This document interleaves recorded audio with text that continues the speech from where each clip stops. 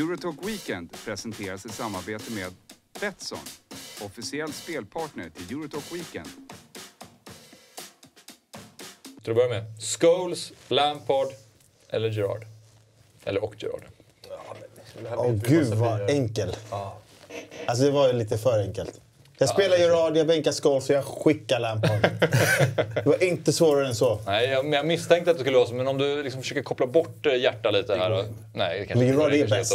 Ja, de här tre. För vi hade vår eh, kombinerade elva av eh, United och Alltså det här är under deras prime. När, Ja, det är pra- alltså, prime karriär. Jag älskar Gerard. Det, alltså, Det, det, det är inte med saken att göra.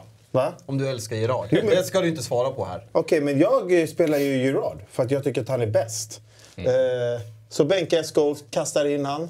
Eh, och Lampard eh, får knappt du- komma, han får knappt se matchen på TV.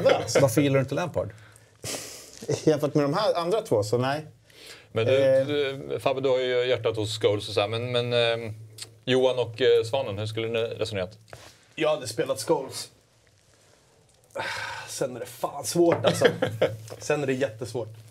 Jag hade, jag hade definitivt spelat Scholes. Grejen är, grejen är så här, det måste så här. Jag, jag är född 91.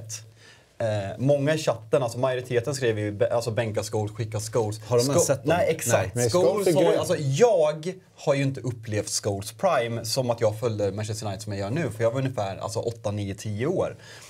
Alla, om man lyssnar på liksom när fotbollsspelare säger, alltså Barcelona-spelarna Xavi, Iniesta liksom pratar om hur Pep utbildade dem, kolla på Scholes. Messi, Iniesta och Xavi ville byta tröja med Scholes efter Champions League-finalen 2011 som var hans sista match.